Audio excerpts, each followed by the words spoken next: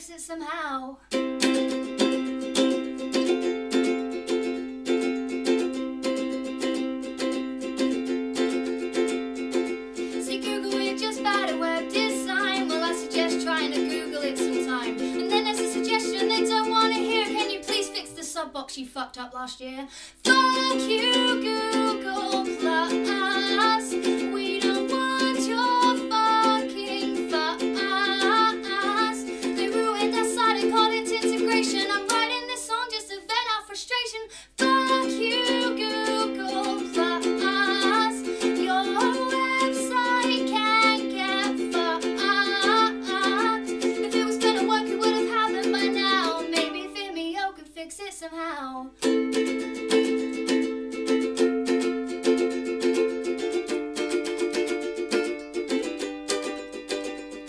If you like this video, then please subscribe. Don't forget to give plus one if you enjoyed.